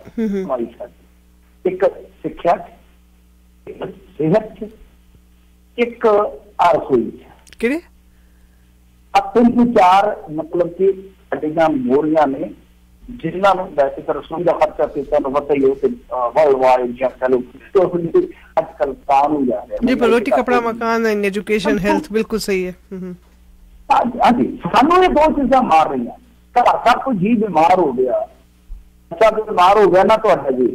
ਰਹੀਆਂ ਘਰ ਦਾ ਕੋਈ ਜੀ ਬਿਮਾਰ ਹੋ ਗਿਆ ਬੱਚਾ ਬਿਮਾਰ ਹੋ ਗਿਆ ਨਾ ਤੁਹਾਡਾ ਜੀ ਤੁਸੀਂ ਪ੍ਰਾਈਵੇਟ ਹਸਪਤਾਲ ਨੂੰ ਭੱਜੋਗੇ ਬਿਲਕੁਲ ਸਹੀ ਗੱਲ ਹੈ ਜੀ। ਪੇਟ ਇਨਫੈਕਸ਼ਨ ਵੀ 25000 ਚ ਪੈਂਦੀ ਹੈ 25000 ਚ ਘੱਟੋ ਘੱਟ। ਬਹੁਤ ਹੈ ਜੀ ਇਹ ਹੈਲਥ ਚੀਜ਼ ਆਈ ਬਹੁਤ ਥਿੰਕ ਓਵਰਹੋਲਿੰਗ ਚਾਹੀਦੀ ਹੈ ਇੰਡੀਆ ਦੇ ਵਿੱਚ ਤਾਂ ਹੈਲਥ ਕੇਅਰ ਸਿਸਟਮ ਨੂੰ। ਬਹੁਤ ਜ਼ਿਆਦਾ ਸਾਡੀ ਮੈਂ ਕਮਾਈ per capita income per capita income ਸਾਡੀ ਬੜੀ ਲੋ ਹੈ ਦੁਨੀਆ ਦੇ ਮੁਕਾਬਲੇ ਜਿਹੜੇ ਵਿਕਸਿਤ ਦੇਸ਼ ਹੈ ਖਾਸ ਤੌਰ ਤੇ ਉਹਨਾਂ ਦੇ ਮੁਕਾਬਲੇ। ਜੀ। ਤਾਂ ਤੁਸੀਂ ਦੇਖੋ ਕਿ ਕਿਸ ਤਰ੍ਹਾਂ ਸਰਵਾਈਵਲ ਹੈ। ਹੂੰ ਹੂੰ। ਇੱਕ ਤਾਂ ਮਹਿੰਗਾਈ ਰਸੋਈ ਕਰ ਲਈ ਫਿਰ ਸਿੱਖਿਆ ਬਹੁਤ ਮਹਿੰਗੀ ਹੈ। ਨਾਲ ਇੱਕ ਕਿਤੇ ਬਿਮਾਰੀ ਪੈ ਗਈ ਬਸ ਹੂੰ। ਕਿਆ ਕਰਜ਼ਾ ਪੈ ਜਾਏਗਾ ਤੁਸੀਂ ਸਾਰੀ ਜ਼ਿੰਦਗੀ ਉਹ ਕਰਜ਼ਾ ਲਾਉਂਦੇ ਲਾਉਂਦੇ ਖਤਮ ਹੋ ਜਾਓਗੇ ਕਰਜ਼ਾ ਤੁਹਾਡੇ ਮਰਿਆ ਤੋਂ ਬਾਅਦ ਤੁਹਾਡੀ ਜ਼ਿੰਦਗੀ ਆ ਆ ਤੁਹਾਡੀ ਹਾਲਤ ਹੈ ਇਹ ਹੋਣਾ ਚਾਹੀਦਾ ਪਰ ਇਹਨੂੰ ਮੈਂ ਸਮਝਦਾ ਕਿ ਇੱਕ ਨਾ ਜਿੱਦਾਂ ਕਹ ਲਈਏ ਕਿ ਤਾਲਮੇਲ ਵਾਲੇ ਤਰੀਕੇ ਨਾਲ ਬੜੇ ਮਿਹਨਤੀ ਤਰੀਕੇ ਨਾਲ ਹੂੰ ਹੂੰ ਤੇ ਤੁਸੀਂ ਐਲਾਨ ਕਰ ਦਿੱਤਾ ਉਸ ਤੋਂ ਪਹਿਲਾਂ ਤੁਸੀਂ ਜੇ ਚੰਗਾ ਹੁੰਦਾ ਕਿ ਕਮੇਟੀ ਬਣਾਉਂਦੇ ਹੋ ਤੇ ਸਕੂਲਾਂ ਨੂੰ ਵੀ ਪਾ ਲੈਂਦੇ ਉਹਦੇ ਚ ਮਾਪਿਆਂ ਨੂੰ ਵੀ ਪਾ ਲੈਂਦੇ ਨੁਮਾਇੰਦਿਆਂ ਨੂੰ ਪਾ ਲੈਂਦੇ ਉਹਦੇ ਚ ਸਰਕਾਰੀ ਨੁਮਾਇੰਦੇ ਵੀ ਬੈਠਦੇ ਜਿੱਦਾਂ ਕਿ ਐਲਾਨ ਇਹਨਾਂ ਨੇ ਕੀਤਾ। ਨੀਤੀ ਬਾਅਦ ਆਏਗੀ ਪਾਲਿਸੀ ਅਸੀਂ ਬੈਠ ਕੇ ਬਣਾਵਾਂਗੇ। ਪਰ ਮੇਰਾ ਮੰਨਣਾ ਕਿ ਪਾਲਿਸੀ ਪਹਿਲਾਂ ਬਣਾ ਲਈ ਜਾਂਦੀ। ਹੁਣ ਸਕੂਲ ਕਹਿੰਦੇ ਕਿ ਅਸੀਂ ਨਹੀਂ ਮੰਨਦੇ ਤਾਂ ਮੇਰੇ ਸਾਹਿਬ ਦੇ ਨਾਲ ਰੌਣਾ ਵੀ ਪੈ ਗਿਆ ਕੱਲ ਕੁਝ ਸਕੂਲਾਂ ਨੇ ਕਿਹਾ ਕਿ ਅਸੀਂ ਫੀਸ ਵਧਾਉਣ ਜਾ ਰਹੇ ਹਾਂ। ਰੋਕ ਲਓ ਸਾਨੂੰ ਕਿਉਂਕਿ ਸਾਡੇ ਕੋਲ ਸੁਪਰੀਮ ਕੋਰਟ ਦੀ ਰੂਲਿੰਗ ਹੈਗੀ ਹੈ ਦੇ ਬਾਬਤ। ਜੀ। 8% ਦਾ ਸਾਡੇ ਇੱਥੇ ਐਕਟ ਹੈਗਾ ਸਕੂਲ ਫੀਸ ਐਕਟ ਹੈਗਾ। ਜਿਹਦੇ ਚ 8% ਦਾ ਇਜ਼ਾਫਾ ਕਰ ਸਕਦੇ ਨੇ। ਤੁਸੀਂ ਖਰਚੇ ਵੱਧਦੇ ਨੇ ਉਹਨਾਂ ਦੇ। ਉਹ ਕਹਿੰਦੇ ਜੇ ਤੁਸੀਂ ਆਪਣੇ ਪੱਧਰ ਤੇ ਕੁਝ ਇਸ ਤਰ੍ਹਾਂ ਦਾ ਕਰਨਾ ਚਾਹੁੰਦੇ ਹੋ ਸਾਡੀ ਜਿਹੜੀ ਹੈਗੀ ਹੈ ਸਾਲਾਨਾ ਫੀਸ ਟਰਾਂਸਪੋਰਟੇਸ਼ਨ ਵਗੈਰਾ ਜੋ ਖਰਚੇ ਪੈਂਦੇ ਆ।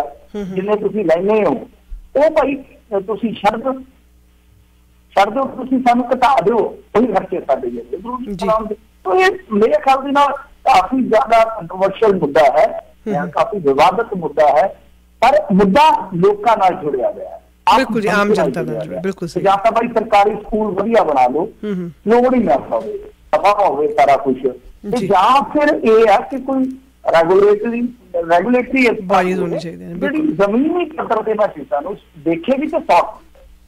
ਜੀ ਜੀ। ਕਾਲਰ ਅਗੇਨ ਦੇਖਨੇ ਕੀ ਕਹਿਣਾ ਚਾਹੁੰਦੇ ਨੇ? ਸਤਿ ਸ਼੍ਰੀ ਅਕਾਲ ਜੀ ਕਾਲਰ ਤੁਸੀਂ ਦੀ 에ਅਰ ਹੋ ਜੀ।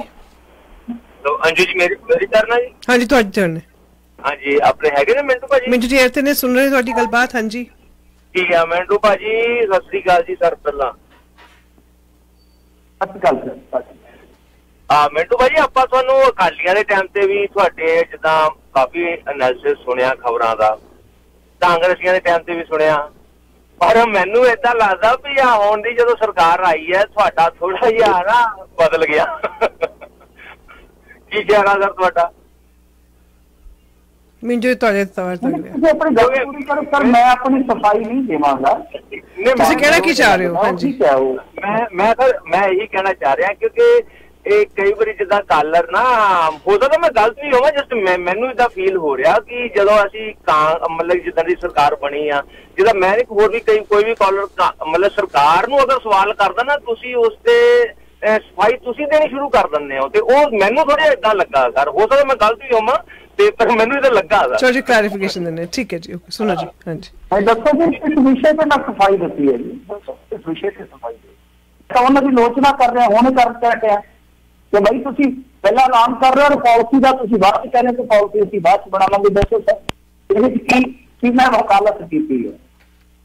ਤੁਸੀਂ ਮੈਂ ਤੁਹਾਡੇ ਤੇ ਕੋਈ ਕੋਈ ਅੱਗੋਂ ਗੱਲ ਟਿੱਪਣੀ ਕਰ ਦੇਵਾਂ।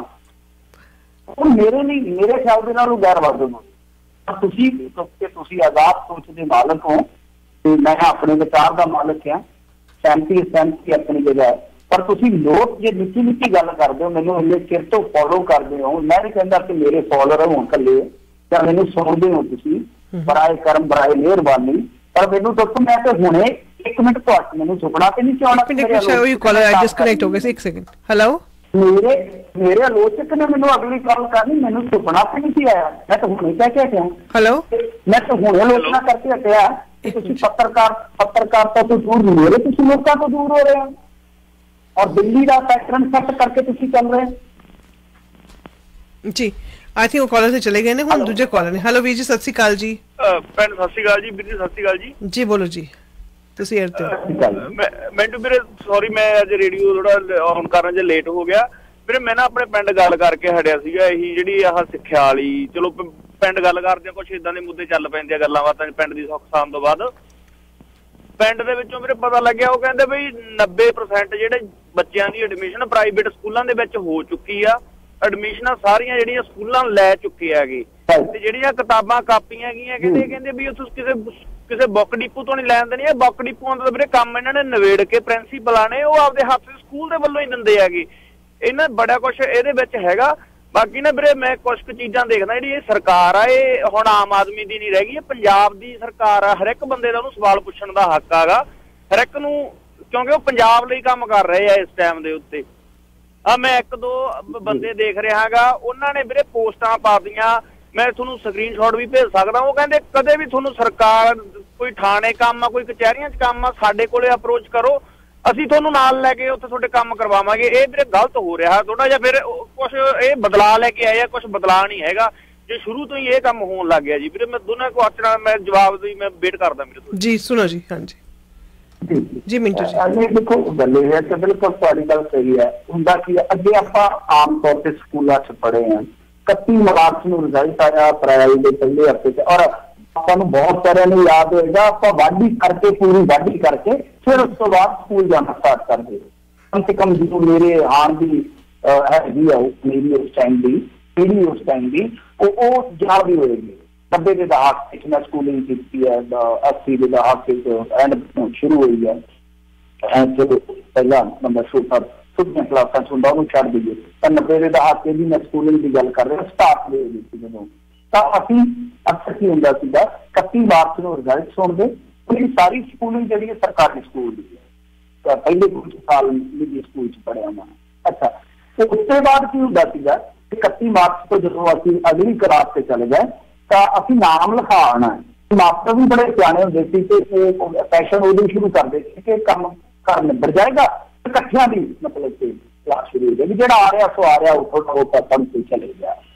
ਹੁਣ ਕੀ ਹੁੰਦਾ ਹੈ ਹੁਣ ਸਿਸਟਮ ਇਦਾਂ ਦਾ ਇਹਨਾਂ ਨੇ ਕਰ ਦਿੱਤਾ ਹੈ ਕਿ ਚੜ੍ਹਦੇ ਮਾਰਚ ਛੋਟੇ ਜਿਹਾ ਕਿਉਂਕਿ ਬੱਚਾ ਛੋਟਾ ਜਿਹਾ ਹੈ, ਅਹ ਸ਼ੁਰੂ ਦੇ ਵਿੱਚ ਇਹ ਪੜ੍ਹ ਰਿਹਾ ਹੈ ਪ੍ਰਾਇਮਰੀ ਸਕੂਲ ਸਕੂਲਿੰਗ ਜਿਹੜੀ ਹੁੰਦੀ ਹੈ।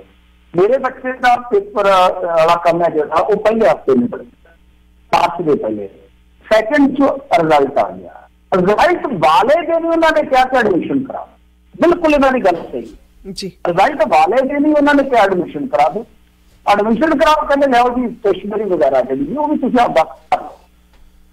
ਹੁਣ ਤੁਸੀਂ ਮੈਨੂੰ ਬਿਲਕੁਲ ਇਹ ਗੱਲ ਸਹੀ ਹੈ ਕਿ ਸਾਨੂੰ ਟਿਕਟ ਕਰਾਉਣੀ ਹੈ ਹਰੇਕ ਸਾਲ ਇਸੇ ਤਰ੍ਹਾਂ ਹੀ ਚੱਲਦਾ ਹੈ ਤਾਂ ਭਾਈ ਆਧਾਰ ਰਿਜ਼ਲਟ ਨਾਲ ਦੀ ਨਾਲ ਛੋਟੇ ਬੱਚਿਆਂ ਦੇ ਐਡਮਿਸ਼ਨ ਕਰਾਓ ਰੀ ਐਡਮਿਸ਼ਨ ਕਰ ਸਕਦੇ ਹੋ ਆਪਾਂ ਉਹਦਾ ਪੈਸਾ ਨਹੀਂ ਲੈਂਦੇ ਮੇਰੇ ਖਿਆਲ ਦੇ ਨਾਲ ਤੇ ਉਸ ਤੋਂ ਬਾਅਦ ਐਨੂਅਲੀ ਕਰਵਾਉਣੀ ਹੈ ਕੁਆਟਰਲੀ ਕਰਾਉਣੀ ਹੈ ਜਾਂ ਜਿਹੜੀ ਵੀ ਤੁਸੀਂ ਕਰਵਾਉਣੀ ਹੈ ਫੀਸ ਉਹ ਜਮ੍ਹਾਂ ਕਰਵਾ ਲਓ ਇਹ ਟਿਊਸ਼ਨ ਫੀਸ ਨਹੀਂ ਉਹ ਕਹਿ ਦਿੰਦੇ ਨੇ ਪਰ ਉਸ ਤੋਂ ਬਾਅਦ ਚਲੋ ਕੰਮ ਆਪਣਾ ਕਿਸੇ ਟ੍ਰਾਂਸਪੋਰਟੇਸ਼ਨ ਦਾ ਮਹੀਨੇ ਦਾ ਦੇਣਾ ਜਿਵੇਂ ਵੀ ਕਰਨਾ ਸੋ ਇਹ ਬਿਲਕੁਲ ਇਹਨਾਂ ਦੀ ਗੱਲ ਦਰੁਸਤ ਹੈ ਕਿ ਤਕਰੀਬਨ ਮੇਰਾ ਮੰਨਣਾ ਕਿ 75% ਤੋਂ ਉੱਤੇ ਤਾਂ ਸਾਰਾ ਕੁਝ ਹੋ ਚੁੱਕਾ ਹੈ ਤੁਸੀਂ ਬਹੁਤ ਲੇਟ ਜਾਂਦੇ ਹੋ ਬਹੁਤ ਲੇਟ ਹੋ ਗਏ ਬਹੁਤ ਦੇਰ ਕਰਦੀ ਹੋਈ ਵਾਸਤੇ ਤੇ ਔਰ ਦੂਸਰੀ ਗੱਲ ਹੈ ਕਿ ਸਕੂਲ ਕਹਿੰਦੇ ਕਿ ਸਾਡੇ ਕੋਲ ਕਾਨੂੰਨੀ ਹਥਿਆਰ ਹੈ ਹੂੰ ਹੂੰ ਕਾਨੂੰਨੀ ਹਥਿਆਰ ਹੈ ਕਿ ਸੁਪਰੀਮ ਕੋਰਟ ਦੇ ਹੁਕਮਾਂ ਦੇ ਮੁਤਾਬਕ ਅਸੀਂ 8% ਤੱਕ ਫੀਸ ਇਨਕਰੀਜ਼ ਕਰ ਸਕਦੇ ਹਾਂ ਔਰ 2 ਸਾਲ ਅਸੀਂ ਨਹੀਂ ਕੀਤੀ ਕਿਉਂਕਿ ਕੋਵਿਡ ਸੀਗਾ। ਸੋ ਇਸ ਕਰਕੇ ਇਸ ਸਰਕਾਰ ਨੂੰ ਬਿਲਕੁਲ ਇਸ ਮੁੱਦੇ ਤੇ ਸਵਾਲ ਹੋਣੇ ਚਾਹੀਦੇ ਆ। ਕਰੋ ਤੁਸੀਂ ਸਵਾਲ ਸਾਰਿਆਂ ਨੂੰ ਕਰਨੇ ਚਾਹੀਦੇ ਆ। ਪਰ ਇਹਦੇ ਚ ਕੀ ਹੈ ਕਿ ਮੈਂ ਜੋ ਗੱਲ ਕਹਿਣਾ, ਦੇਖੋ ਮਸਲਾ ਜਿਹੜਾ ਹੈ ਨਾ ਨਾ ਆਲੋਚਨਾ ਨਾਲ ਹੱਲ ਹੋਣਾ ਆ, ਨਾ ਇੱਕ ਪਾਸੜ ਫੈਸਲੇ ਲਿਆ ਹੋਣਾ ਮਸਲਾ ਹੱਲ ਹੋਣਾ ਜਦ ਨੀਤੀ ਨੀਤੀਗਤ ਤਰੀਕੇ ਨਾਲ ਅੱਗੇ ਵਧੋ। ਅਨੀਤੀਗਤ ਤਰੀਕਾ ਇਹੀ ਹੈ ਕਿ ਜਿੱਥੇ ਕੰਮ ਹੋ ਸਕਦਾ ਹੈ ਉੱਥੇ ਕੀਤਾ ਜਾਵੇ ਕਿਸੇ ਕਮੇਟੀਆਂ ਵੀ ਬਣੀਆਂ ਔਰ ਜਿਹੜਾ ਕੁਝ ਹੋਇਆ ਪਰ ਨਿੱਜੀ ਸਕੂਲ ਕਿਉਂਕਿ ਜ਼ਿਆਦਾਤਰ ਰਸੂਖਦਾਰਾਂ ਦੇ ਆ, ਉਹ ਆਪਣੇ ਹਿਸਾਬ ਕਿਤਾਬ ਨਾਲ ਚੱਲੀ ਜਾਂਦੇ ਆ ਕਿਉਂਕਿ ਪਾਰਦਰਸ਼ਤਾ ਜਦੋਂ ਆਏਗੀ ਫਿਰ ਗੱਲ ਬਣੇਗੀ ਔਰ ਜਿੱਥੋਂ ਤੱਕ ਤੁਹਾਡਾ ਦੂਜਾ ਸਵਾਲ ਸੀ ਹੁਣ ਮੈਂ ਗਿਆ ਜੀ ਭੁੱਲ ਕਿਉਂਕਿ ਗੱਲ ਲੰਬੀ ਥੋੜੀ ਹੋ ਗਈ ਜੀ ਥੈਂਕ ਯੂ ਮਿੰਟੂ ਜੀ ਔਰ ਕਾਲਰਸ ਹੈਗੇ ਨੇ ਲੈਂਦੇ ਆ ਕਾਲ ਸਤਿ ਸ਼੍ਰੀ ਅਕਾਲ ਜੀ ਵੀਰ ਜੀ ਤੁਸੀਂ ਏਅਰ ਤੇ ਹੋ ਹੈਲੋ ਹੈਲੋ ਜੀ ਵੀਰ ਏਅਰ ਤੇ ਹੋ ਤੁਸੀਂ? ਜੀ ਸਤਿ ਸ਼੍ਰੀ ਅਕਾਲ ਜੀ। ਸਤਿ ਸ਼੍ਰੀ ਅਕਾਲ ਜੀ। ਮਿੰਟੂ ਜੀ ਆਪਣੇ ਨਾ ਸਾਰੇ ਬੰਦਿਆਂ ਦੇ ਸਵਾਲ ਆ ਰਹੇ ਆ ਫੀਸਾਂ ਦੇ ਆਲੇ ਦੁਆਲੇ ਘੁੰਮੀ ਜਾਂਦੇ ਆ ਵਰਦੀਆਂ ਦੇ ਤੇ। ਐਡਮਿਸ਼ਨਾਂ ਦੇ। ਮੇਰਾ ਸਵਾਲ ਇਹ ਆ ਵੀ ਜਿਹੜੀ ਪੰਜਾਬ ਗਵਰਨਮੈਂਟ ਆ ਇਹ ਨਿਰਧਾਰਤ ਕਿਉਂ ਨਹੀਂ ਕਰਦੀ? ਸਾਰੇ ਸਕੂਲਾਂ ਨੂੰ ਵੀ ਇੱਕੋ ਹੀ ਸਿਲੇਬਸ ਹੋਣਾ ਚਾਹੀਦਾ ਸਾਰਿਆਂ ਦਾ। ਜਿਹੜਾ ਮਰਜ਼ੀ ਸਕੂਲ ਹੋਵੇ ਇੱਕੋ ਤਰ੍ਹਾਂ ਦੀ ਬੁੱਕ ਹੋਣੀ ਚਾਹੀਦੀ ਆ। ਹਰੇਕ ਸਾਲ ਉਹ ਬੁੱਕ ਬਦਲਦੇ ਆ। ਇੱਕੋ ਪੰਜਾਬ ਦੇ ਵਿੱਚ ਅਲੱਗ-ਅਲੱਗ ਸਕੂਲਾਂ ਦੇ, ਅਲੱਗ-ਅਲੱਗ ਬੁੱਕਾਂ ਦੇ ਰਾਈਟਰ ਆ। ਉਹ ਹਰੇਕ ਬੰਦਾ ਆਪਦੀ ਸੋਚ ਦੇ ਹਿਸਾਬ ਨਾਲ ਬੁੱਕ ਲਿਖ ਕੇ ਬੱਚਿਆਂ ਨੂੰ ਫੜਾ ਦਿੰਦਾ, ਉਹ ਸਕੂਲ ਚੋਂ ਪੜ੍ਹ ਕੇ ਬਾਹਰ ਨਿਕਲਦੇ ਆ। ਸਾਰੇ ਬੱਚਿਆਂ ਦੀ ਸੋਚ ਵੱਖਰੀ ਵੱਖਰੀ ਹੋ ਰਹੀ ਆ। ਨੰਬਰ 1 ਨੰਬਰ 2 ਟਰੱਕਾਂ ਦੇ ਟਰੱਕ ਭਰ ਕੇ ਕਿਤਾਬਾਂ ਦੇ ਛਪ ਕੇ ਆਉਂਦੇ ਆ। ਹਰੇਕ ਸਾਲ ਉਸ ਤੋਂ ਬਾਅਦ ਉਹ ਗਾਰਬੇਜ ਹੋ ਜਾਂਦੇ ਆ। ਕਿੰਨਾ ਦਰਖਤ ਵੱਢਿਆ ਜਾਂਦਾ। ਕਿੰਨਾ ਮਾਪਿਆਂ ਦੇ ਬੋਝ ਪੈ ਰਿਹਾ ਉਹ ਚੀਜ਼ ਦਾ। ਅਸੀਂ ਪੜ੍ਹਦੇ ਰਹੇ ਆ ਅਸੀਂ ਆਪਦੀਆਂ ਕਿਤਾਬਾਂ ਦੂਜੇ ਨੂੰ ਦੇ ਦਿੰਦੇ ਸੀ ਗਾਹਲੇ ਤੋਂ ਲੈ ਲੈਂਦੇ ਹੁੰਦੇ ਸੀਗੇ ਅਗਲੇ ਸਾਲ ਦੀ। ਹਾਂਜੀ ਹਾਂਜੀ ਇਹ ਦੇਖੋ ਕਿੱਡਾ ਵੱਡਾ ਕਪਲਾ ਮੈਂ ਅੱਜ ਕਿਸੇ ਟੀਵੀ ਤੇ ਰਿਪੋਰਟਰ ਦੇਖਦਾ ਸੀ ਲੁਧਿਆਣੇ ਬਾਜ਼ਾਰ ਦੇ ਵਿੱਚੋਂ 15 ਦੁਕਾਨਾਂ ਤੇ ਗਿਆ। ਉਹਦੇ ਵਿੱਚੋਂ 8 ਜਾਂ 10 ਦੁਕਾਨਾਂ ਇਹੋ ਜਿਹੀਆਂ ਸੀ ਜਿਨ੍ਹਾਂ ਨੇ ਕਿਹਾ ਵੀ ਨਹੀਂ ਅਸੀਂ ਪ੍ਰਾਈਵੇਟ ਕਿਤਾਬਾਂ ਨਹੀਂ ਰੱਖਦੇ। ਪੰਜ ਚਾਰ ਦੁਕਾਨਾਂ ਵਾਲੇ ਇਹੋ ਜਿਹੇ ਜਿਹੜੇ ਕਹਿੰਦੇ ਦੱਸੋ ਕਿਹਦੀ ਲੈਣੀ ਹੈ ਕਿਤਾਬ। ਅਸੀਂ ਦਿੰਨੇ ਸੈੱਟ ਬਣਾ ਕੇ ਜਿਹੜੀ ਬਾਹਰ ਸਰਕਾਰੀ ਸਿਲੇਬਸ ਦੀ ਕਿਤਾਬ 500 ਦਾ ਸੈੱਟ ਮਿਲ ਰਿਹਾ ਤੇ ਪ੍ਰਾਈਵੇਟ ਉਸੇ ਸਕੂਲ ਦੀ ਕਿਤਾਬ ਦਾ 5000 ਦਾ ਸੈੱਟ ਮਿਲ ਰਿਹਾ ਸੋ ਇਹ ਬਹੁਤ ਵੱਡੀ ਧਾਂਦਲੀ ਹੈ ਜੀ ਇਹ ਇਹ ਸਕੂਲਾਂ ਵਾਲੇ ਕੋਈ ਏਡੇ ਸਾਊ ਨਹੀਂ ਹੈਗੇ। ਅੱਜ ਦਾ ਨਹੀਂ ਹੈ ਜੀ ਇਹ ਜਦੋਂ ਤੋਂ ਮੈਂ ਤਾਂ ਮਿੰਟੂ ਜੀ ਜਦੋਂ ਤੋਂ ਮੈਂ ਪੜ੍ਹ ਰਹੀ ਸੀ ਮੈਂ ਤਾਂ ਦਾ ਪਤਾ ਉਸ ਟਾਈਮ ਤੱਕ ਦਾ ਹੀ ਹੈ ਕਿਤਾਬਾਂ ਦਾ ਬਦਲਾਅ ਆਈ ਮੀਨ ਨਾਟ ਮੈਂ ਤੁਸੀਂ ਪੰਜਾਬ ਦੀ ਗੱਲ ਕਰ ਰਹੇ ਹੋ ਮੈਂ ਦਿੱਲੀ ਦੀ ਗੱਲ ਕਰਦੀ ਹਾਂ ਮੈਂ ਇੱਥੇ ਸਕੂਲ ਦੇ ਪ੍ਰਾਈਵੇਟ ਜਿਹੜੇ specially private schools and convent schools ਨੇ ਉਹਨਾਂ ਵਿੱਚ ਤੇ monopoly of uniform monopoly of books ਹੈਗੀ ਹੈਗੀ। ਮਾਫ ਕਰਨਾ। ਜੀ। ਮਾਫ ਕਰਨਾ ਇਹਦਾ ਇੱਕੋ ਹੱਲ ਆ ਕਿ ਆਪਣਾ ਜਿਹੜਾ ਤੁਹਾਡਾ ਜਨਤਕ ਸੈਕਟਰ ਆ ਉਹ ਮਜ਼ਬੂਤ ਕਰੋ ਬਸ ਗੱਲ ਖਤਮ ਹੈ। ਤੁਸੀਂ ਕਰਨ ਤੇ ਆਏ ਸੀਗੇ। ਜੀ। ਤੁਸੀਂ ਕਰਨ ਇਹ ਆਏ ਸੀਗੇ ਕਿ ਸਰਕਾਰੀ ਜਿਹੜਾ ਸਾਡਾ ਸਕੂਲੀ ਢਾਂਚਾ ਉਹਨੂੰ ਬਿਹਤਰ ਕਰੋ। ਬਿਹਤਰ ਕਰੋ ਬਸ ਗੱਲ ਖਤਮ ਹੈ। ਜੀ, ਜੀ, ਹੈ thank you, ਜਿਵੇਂ ਮਿੰਟੂ ਜੀ। ਪੜ੍ਹਾਉਣਾ ਬੱਚਾ ਪੜ੍ਹਾ ਲਵੇ। ਪਰ ਉਹਦੇ ਵਾਸਤੇ ਨਿਯਮਾਵਲੀ ਇੱਕੋ ਜਿਹੀ ਹੋਣੀ ਚਾਹੀਦੀ ਬਿਲਕੁਲ ਇਹ ਗੱਲ ਸਹੀ ਹੈ। ਪਰ ਇਹ ਕੋਈ ਵੱਡਾ ਨਹੀਂ ਮੁੱਦਾ ਹੈਗਾ। ਸਾਡੇ ਕੋਲ ਇਹੋ ਜਿਹੇ ਸਿੱਖਿਆ ਸ਼ਾਸਤਰੀ ਬੈਠੇ ਆ ਤੁਹਾਨੂੰ ਇੱਕ ਐ ਮਤਲਬ ਕਿ ਨਾ ਟੋਟੀਆਂ ਤੇ ਗਿਣ ਕੇ ਇੱਕ ਨੀਤੀ ਦੇ ਦੇਣਗੇ ਕਿ ਆਹ ਕਰ ਲਓ। ਸਾਡੇ ਨਾਲ ਗੜ ਕੇ ਤੁਹਾਡੇ ਕੋਲ ਬੈਠੇ ਲੋ ਸੁਭਾਵਾਂ ਨਵੀਆਂ ਸਾਡੇ ਕੋਲ ਬਹੁਤ ਸਿੱਖਿਆ ਸ਼ਾਸਤਰੀ ਬੈਠੇ ਨੇ ਇਸ ਤਰ੍ਹਾਂ ਦੇ। ਜਿਹੜੇ ਤੁਹਾਨੂੰ ਇਹ ਦੱਸ ਦੇਣਗੇ ਨੁਕਤੇ ਦੀ ਗੱਲ ਬਈ ਇੱਥੇ ਇੱਕ ਸੱਟ ਕਰਨ ਦੀ ਜ਼ਰੂਰਤ ਆ। ਜੀ। ਇੱਥੇ ਇੱਥੇ ਚੋਟ ਕਰੋ। ਉਹ ਅਹ, ਫਾਲਤੂ ਸਿਲੇਬਸ ਕੱਢ ਦਿਓ। ਅਹ, ਜਿੱਦਾਂ ਬਿਲਕੁਲ ਆ ਜਿਹੜਾ ਕਲਚਰ ਤੇ ਖਤਮ ਕਰ ਦਿੱਤਾ ਗਿਆ ਅਸੀਂ ਕਿਤਾਬਾਂ ਅਹ, ਆਪਣੀਆਂ ਜਿਹੜੀਆਂ ਉਹ ਦੂਜੇ ਨੂੰ ਦੇ ਦਿੰਦੇ ਸਾਂ ਦੂਜੇ ਤੋਂ ਲੈ ਲੈਂਦੇ ਸਾਂ। ਉਹ ਕਲਚਰ ਖਤਮ ਕਰ ਦਿੱਤਾ। ਬਿਲਕੁਲ ਇਸ ਤਰ੍ਹਾਂ ਹੋਣਾ ਚਾਹੀਦਾ ਕਿਉਂਕਿ ਮੈਂ ਕੋਈ ਸਿੱਖਿਆ ਸ਼ਾਸਤਰੀ ਨਹੀਂ ਹਾਂ, ਮੈਨੂੰ ਪਤਾ ਨਹੀਂ, ਕਿਉਂਕਿ ਹੁਣ ਢਾਂਚਾ ਹੀ ਬਦਲ ਗਿਆ ਮੈਂ ਤਾਂ ਆਪਣੀ ਜਿਹੜੀ ਸਕੂਲਿੰਗ ਆ, ਉਹ 30 ਸਾਲ ਪਹਿਲਾਂ ਦੀ ਦੱਸੀ ਆ ਨਾ ਤੁਹਾਨੂੰ। ਉਸ ਤੋਂ ਬਾਅਦ ਆਪਾਂ ਨੂੰ ਪਤਾ ਹੀ ਨਹੀਂ ਕੀ ਕੁਛ ਹੈ ਇਹ ਸਿੱਖਿਆ ਸ਼ਾਸਤਰੀ ਹੀ ਦੱਸ ਸਕਦੇ ਆ ਕਿ ਕਿੱਥੇ ਕਿੱਥੇ ਗੜਬੜੀ ਆ ਤੇ ਕਿੱਥੇ ਕਿੱਥੇ ਨੂੰ ਠੀਕ ਕੀਤਾ ਜਾ ਸਕਦਾ ਕਿਸ ਕਿਸ ਤਰੀਕੇ ਨਾਲ ਕੀਤਾ ਜਾ ਸਕਦਾ। ਜੀ ਮਿੰਟੂ ਜੀ। ਮੇਰਾ ਨੈਕਸਟ ਸਵਾਲ ਹੈਗਾ ਕਿ ਸਿੱਧੂ ਨੇ ਜੱਗੇ ਨੇ ਥੋੜੇ ਆਪਣੇ ਬਿਆਨਬਾਜ਼ੀ ਸ਼ੁਰੂ ਹੋ ਗਈ ਉਹਨਾਂ ਦੀ। ਕਹਿੰਦੇ ਨੇ ਸੌਦੇਬਾਜ਼ੀ ਕੀਤੀ ਆਪਨੇ। ਕਿਸ ਸੌਦੇਬਾਜ਼ੀ ਦੀ ਗੱਲ ਕਰ ਰਹੇ ਨੇ? ਹਾਂ ਬਿਲਕੁਲ ਨਵਜੋਤ ਸਿੰਘ ਸਿੱਧੂ ਹੁਣ ਥੋੜੇ ਐਕਟਿਵ ਹੋਏ। ਮੇਰੇ ਖਿਆਲ ਦੇ ਨਾਲ ਜਿਹੜਾ ਚੱਲਦਾ ਸ਼ਾਂਤ ਹਾਂ, ਬਿਲਕੁਲ। ਮਸਲਾ ਹੈ, ਟੀ ਵਾਲਾ ਮਸਲਾ ਉਹਦੇ ਵਿੱਚ ਇੱਕ ਦੂਜੇ ਨੂੰ ਪਛਾੜਨ ਦਾ ਯਤਨ ਕਰ ਦਿੱਤਾ ਹੈ ਕੋਈ ਗਧਾ ਕਹਿ ਰਿਹਾ ਕੋਈ ਹਾਥੀ ਕਹਿ ਰਿਹਾ ਕੋਈ ਖੱਚਰ ਕਹਿ ਰਿਹਾ ਪੂਰੀ ਪਸ਼ੂ ਮੰਡੀ ਰੱਖੀ ਸ਼ਬਦਾਵਲੀਆਂ ਚ ਅਖੇ ਇਹਨਾਂ ਨੇ ਜਿਹੜੀ ਗੱਲ ਕਹੀ ਹੈ ਉਹ ਕਹਿੰਦੀ ਹੈ ਕਿ ਅਹ, ਸਰਕਾਰ ਨੇ ਸੰਸਦ ਮੈਂਬਰ ਭੇਜਣ ਦੇ ਨਾਮ ਤੇ ਹੀ ਸੌਦਾ ਕਰ ਲਿਆ ਮਤਲਬ ਕਿ ਆਮ ਆਦਮੀ ਪਾਰਟੀ ਦੀ ਸਰਕਾਰ ਨੇ ਜੋ ਮੈਂਬਰ ਪਾਰਲੀਮੈਂਟ ਕਰਦੇ ਆ ਉਹ ਨਹੀਂ ਮਤਲਬ ਕਿ ਉਹਦੇ ਬਾਅਦ ਵਿੱਚ ਕਹਿੰਦੇ ਦੇਖੋ ਸੌਦਾ ਹੋਇਆ ਕਿ ਨਹੀਂ ਹੋਇਆ ਕਿ ਨਹੀਂ ਹੋਇਆ ਜੇ ਹੋਇਆ ਤਾਂ ਉਹਦੇ ਬਾਰੇ ਤੇ ਹੁਣ ਆਪਾਂ ਕੀ ਠੋਸ ਰੂਪ ਦੇ ਵਿੱਚ ਕਹੀਏ। ਪਰ ਇੱਕ ਗੱਲ ਤੇ ਹੈ ਕਿ ਤੁਸੀਂ ਦੇਖੋ ਕਿ ਇੱਕ ਪਾਸੇ ਅਸੀਂ ਹੀ ਹੁਣ ਅਹ, ਰੌਲਾ ਪਾ ਰਹੇ ਕਿ ਪੰਜਾਬ ਦੇ ਨਾਲ ਇਸ ਤਰ੍ਹਾਂ ਹੋ ਰਿਹਾ ਇਸ ਤਰ੍ਹਾਂ ਹੋ ਰਿਹਾ ਕਿ ਸਰਕਾਰ ਨੂੰ ਕੋਈ ਆਵਾਜ਼ ਬੁਲੰਦ ਕਰਨੀ ਚਾਹੀਦੀ ਹੈ। ਜੀ ਜੀ। ਹੁਣ ਸਰਕਾਰ ਦਾ ਕੰਮ ਚਲੋ ਪੰਜਾਬ ਤੇ ਵਿਧਾਨ ਸਭਾ 'ਚ ਕਰ ਰਹੇ ਆ। ਜੀ। ਜਿਹੜੇ ਰਾਜ ਸਭਾ 'ਚ ਆ ਸਾਡੇ ਉਹ ਕੀ ਕਰ ਰਹੇ? ਇੱਕ ਤਾਂ ਰੈਂਪ ਤੇ ਜਿਹੜਾ ਆ ਉਹ ਉੱਤੇ ਲਾ ਰਿਹਾ ਵਾ। ਜੀ। ਸਾਡਾ ਮੈਂਬਰ ਪਾਰਲੀਮੈਂਟ ਆਈਪੀਐਲ ਦੇ ਇਸ ਸੈਸ਼ਨ ਵਾਸਤੇ ਐਵਨ ਕਮੈਂਟੇਟਰ ਉਹ ਕੰਮ ਕਰ ਰਿਹਾ ਹੈ।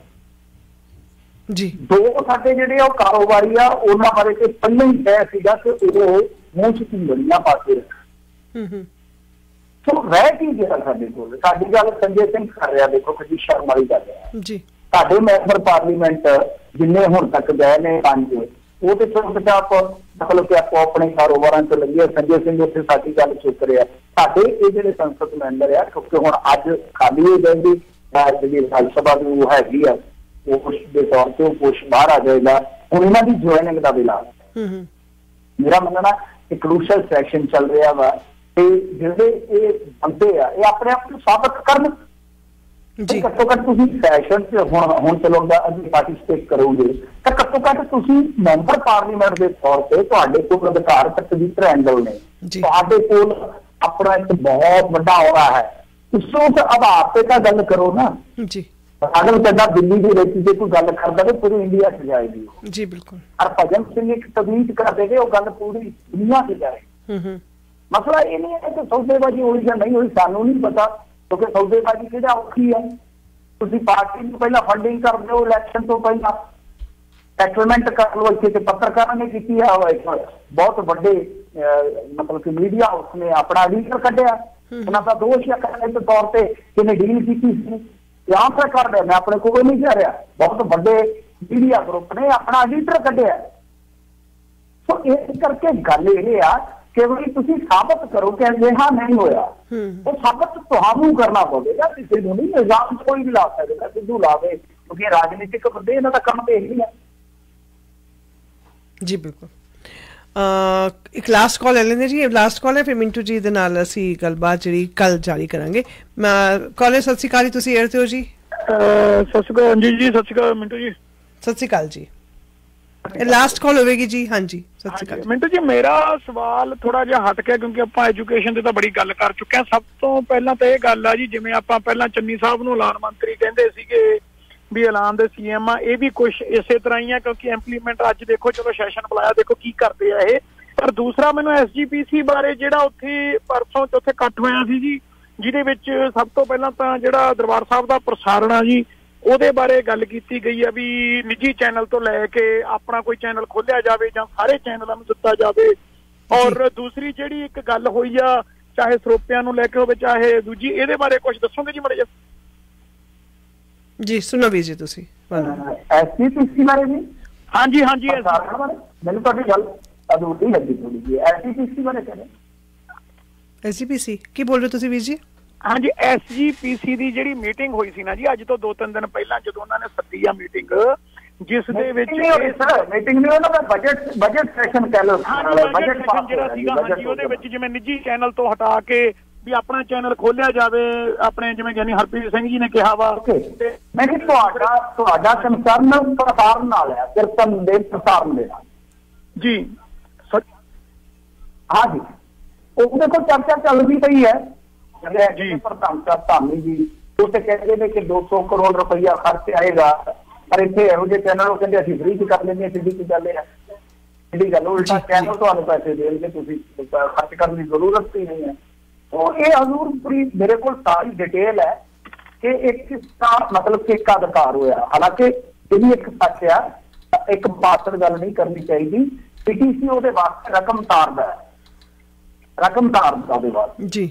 ਮਤਲਬ ਕਿ ਕੁਝ ਥਾਵਾਂ ਤੋਂ ਜੇ ਤੁਸੀਂ ਦੇਖੋਗੇ ਜਿਹੜੇ ਬਹੁਤ ਵੱਡੇ ਧਾਰਮਿਕ ਸਥਾਨ ਨੇ ਸਿੱਖਾਂ ਦੇ ਉਹਨਾਂ ਦਾ ਜਿਹੜਾ ਬ੍ਰਾਂਡ ਉਹ ਸਭ ਚੈਨਲ ਨੂੰ ਇਹ ਕਰਦੇ ਨੇ। ਇੱਥੇ ਚੈਨਲ ਤੇ ਇਹ ਕਰ ਰਿਹਾ ਇੱਕ ਗੱਲ। ਮੈਂ ਕਿਸੇ ਪਾਸੇ ਹੁੰਦਾ ਉਹਦੇ ਲਈ ਆਲੋਚਨਾ ਕਰਨੀ ਪਵੇ ਚਾਹੇ ਸੁਣਨੀ ਪਵੇ ਇਹ ਕੋਈ ਫ਼ਰਕ ਨਹੀਂ ਪੈਂਦਾ ਉਹਨਾਂ ਚੀਜ਼ਾਂ ਦਾ ਦੇਖੋ ਪੀਟੀਸੀ ਦਾ ਸਿਰ ਪਰ ਮੇਰੇ ਕੋਲ ਜੋ ਡਿਟੇਲ ਹੈ ਕਿ ਪੀਟੀਸੀ ਨੂੰ ਰਾਜ ਸਹਾਰ ਕਿੱਦਾਂ ਕੀਤੇ ਉਹਦੇ ਚੋਂ ਇੱਕ ਅਹਿਮ ਸ਼ਰਤ ਕਿੱਦਾਂ ਟਾਲੀ ਸੀ ਪਰ ਹੁਣ ਮਸਲਾ ਇਹ ਆ ਕਿ ਅੱਜ ਆਪਣੇ ਕੋਲ ਟਾਈਮ ਥੋੜਾ ਆ ਇਸ ਕਰਕੇ ਚਰਚਾ ਚੱਲ ਰਹੀ ਹੈ ਯਾਰ ਮੇਰਾ ਜ਼ਾਤੀ ਤੌਰ ਤੇ ਜੇ ਤੁਸੀਂ ਓਪੀਨੀਅਨ ਚਾਹਦੇ ਹੋ ਤਾਂ ਮੈਂ ਤੇ ਇਹੀ ਕਹਾਂਗਾ ਕਿ ਦੇਖੋ ਗੁਰਬਾਣੀ ਸਰਵ ਕਲਿਆਣਕਾਰੀ ਹੈ। ਉਹ ਮਤਲਬ ਕਿ ਸਭ ਪ੍ਰਾਣੀ ਹਿੱਤੇ ਆ। ਸਾਡੇ ਜਿਹੜੇ ਸਿੰਘ ਸਹਿਬਾਨ ਨੇ ਸਾਡੇ ਜਿਹੜੇ ਰਾਜੀ ਸਹਿਬਾਨ ਨੇ ਉਹ ਕਿਸੇ ਚੈਨਲ ਦੇ ਆਦਮੀ ਨਹੀਂ ਹੈ। ਉਹ ਗੁਰੂ ਘਰ ਦੇ ਮਤਲਬ ਕਿ ਮੁਲਾਜ਼ਮ ਕਹਿ ਲਓ ਸ਼ਬਦ ਪਤਾ ਨਹੀਂ ਵਾਜਬ ਹੈ ਜਾਂ ਨਹੀਂ ਹੈ ਪਰ ਕਿਸੇ। ਫਰਮ ਦੇ ਨਾਲ ਨਹੀਂ ਕੰਮ ਦਾ ਨਹੀਂ ਹੋਏ।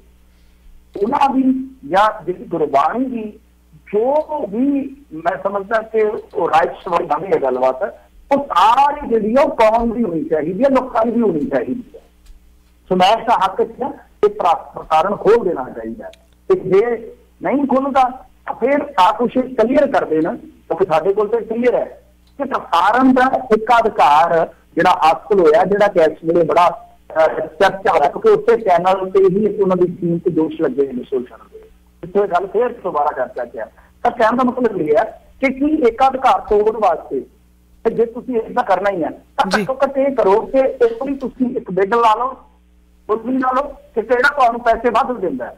ਔਰ ਉਹਦੇ ਵਿੱਚ ਵੀ ਇੱਕ ਤੁਸੀਂ ਸ਼ਰਤ ਪਾ ਸਕਦੇ ਹੋ ਕਿ ਅਸੀਂ ਆਪਣੇ ਰਾਈਟ ਜਿਹੜੇ ਉਹ ਰਾਖ ਵੀ ਲਿਖਾਂਗੇ ਉਹ ਉਹ ਪ੍ਰਕਾਰ ਕੋਈ ਵੀ ਕਰ ਸਕਦਾ ਜੇ ਤੋਂ ਉਹ ਲੋਗੋ ਤੁਹਾਡਾ ਲੱਗਣਾ ਹੈ ਤਾਂ ਬਾਈ ਤੁਹਾਨੂੰ ਫਿਰ ਆਪ ਕੇ ਬਿੱਲ ਦੇ ਵਿੱਚ ਆਪਣੀ ਟੈਂਡਰ ਦੇ ਰੂਪ ਦੇ ਵਿੱਚ ਬੋਲੀ ਇੱਕ ਰਕਮ ਤੈਅ ਕਰਨੀ ਪਵੇਗੀ ਕਿੰਨੀ ਕੁ ਬਣੇ ਜੀ। ਜੀ ਧੰਨਵਾਦ ਜੀ। ਥੈਂਕ ਯੂ ਜੀ। ਮਿੰਟੂ ਜੀ ਤੁਹਾਡਾ ਵੀ ਬਹੁਤ ਬਹੁਤ ਤਹਿ ਦਿਲ ਤੋਂ ਸ਼ੁਕਰੀਆ ਜੀ। ਤੁਸੀਂ ਆਪਣਾ ਕੀਮਤੀ ਵਕਤ ਸਾਨੂੰ ਦਿੱਤਾ ਔਰ ਆਪਣੀ ਖਬਰਾਂ ਦੇ ਨਾਲ ਸਾਨੂੰ ਜਾਣੂ ਕਰਾਇਆ। ਥੈਂਕ ਯੂ ਕੱਲ ਫਿਰ ਤੋਂ ਦੁਬਾਰਾ ਤੋਂ ਮੁਲਾਕਾਤ ਹੋਏਗੀ। Thank you once again thank you caller ਸਤਿ ਸ਼੍ਰੀ ਅਕਾਲ ਜੀ। ਸਤਿ ਸ਼੍ਰੀ ਸ਼ੁਕਰੀਆ। ਹੈਲੋ ਹੈਲੋ ਹਾਂਜੀ ਹਾਂਜੀ ਮਿੰਟੂ ਜੀ।